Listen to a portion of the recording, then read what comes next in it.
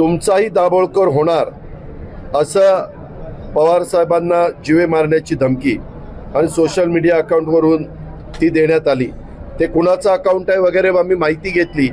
तर सौरव पिंपळकर नावाच्या ट्विटर अकाउंटवरून धमकी देण्यात आली. आणि सौरव पिंपळकरच्या ट्विट म- ट्विटरवर बायोमध्ये मी भाजपचा कार्यकर्ता आहे असा उल्लेख आहे. आता तो खरंच भाजपचा कार्यकर्ता आहे का नाही आम्हाला माहीत नाही. पण तसा उल्लेख आहे. आज त्यांच्या पक्षाने असं बोलायला सांगितलंय का वैचारिक विचारांची लढाई विचारांनी करूया ना. प्रत्येकाला आपलं आपलं व्यक्ती स्वातंत्र्य मत स्वातंत्र्य विचार स्वातंत्र्य संविधानाने तो अधिकार आपल्याला सगळ्यांना दिलेला आहे. त्या अधिकाराचा गैरवापर कशाला करायचा? कारण नसताना एखाद्या राजकीय नेत्याच्या बद्दल राष्ट्रीय नेत्याच्या बद्दल अशा प्रकारे बदनामीकारक लिखाण करण्याचा अधिकार यांना दिलाय कुणी? आणि माझं तर म्हणणं असं आहे तुम्ही म्हण फेसबुक अकाउंटवर आली. ते अकाउंट वेगळ्या पद्धतीचं आहे. तर सौरभ पिंपळकरनी त्यांना त्या ठिकाणी रिट्वीट करून खरं तर अशा गोष्टीचं समर्थन करता येत नाही. सौरभ पिंपळकरनं रिट्वीट करून काही मांडलं. पण सौरभ पिंपळकरच्या संपूर्ण त्या रिट्वीटमध्ये कुठेही शरद पवार साहेबांना धमकी देणे असा कुठेही उल्लेख नाहीये. आता फेसबुक अकाउंटमध्ये ज्यांनी टाकलं त्यांच्यावर कारवाई केली पाहिजे का? तर प्रचंड मोठी कारवाई केली पाहिजे. आमचं समर्थन नाहीच आहे. कालही मी बोललो की माननीय शरद पवार साहेबांसारख्या व्यक्तिमत्वाला कुणी धमकी देत असेल तर महाराष्ट्र सहन करणार नाही आणि कुणी सरकारही सहन करणार नाही. देवेंद्रजी एकनाथजी सहन करणार नाही. आणि मुख्यमंत्र्यांनी आणि उपमुख्यमंत्र्यांनी आपलं पूर्ण बाजू मांडली आहे. पण सौरव पिंपळकरचा जर उल्लेख करताय भारतीय जनता पार्टीसोबत जोडताय होय.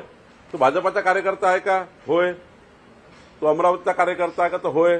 कोणाचा कार्यकर्ता राहणं काही चूक आहे का? तर नाही आहे.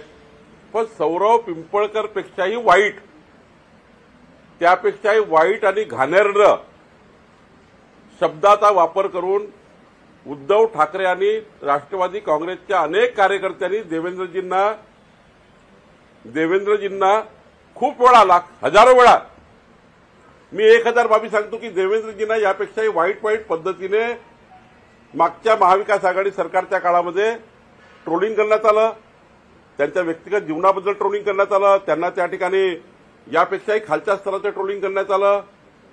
पवार साहेबाबद्दल तर सौरभ पिंपळकरनी फार कमी त्या ठिकाणी लिहिलं आहे आम्ही त्याचं समर्थन करत नाहीत आहे. सौरभ पिंपळकरनी धमकीच दिली नाही आहे. भाजपाच्या कार्यकर्त्यांनी त्यांना धमकीच दिली नाही आहे पोलीस तपास करतील. दोषी असेल तर त्या ठिकाणी बघू. आम्ही कारवाई करू. पण प्रश्न असा आहे की ज्यांनी कोणी केला त्याचा काही भाजपचा संबंध नाही आहे. ज्यांनी त्याला सोबत जोडला यांनी काही असं लिहिलं नाही आहे. तरी सौरभ पिंपळकर सौरभ पिंपळकर सौरभ पिंपळकर भारतीय जनता पार्टी भारतीय जनता पार्टी आणि माझ्यासोबत फोटो दाखवणे दानवे साहेबांसोबत फोटो दाखवणे अत्यंत चूक आहे. सौरभ पिंपळकरनी कधीही शरद पवार साहेबांना कुठल्याही प- त्या रेकॉर्डमध्ये बघा पवारांना धमकी दिली नाही आहे. ती धमकी वेगळ्या फेसबुकवरनं आहे. आणि त्यामुळं त्याला सपोर्ट करणे हे सुद्धा वाईट आहे चुकीचं आहे. आम्ही सम- समर्थन करत नाही.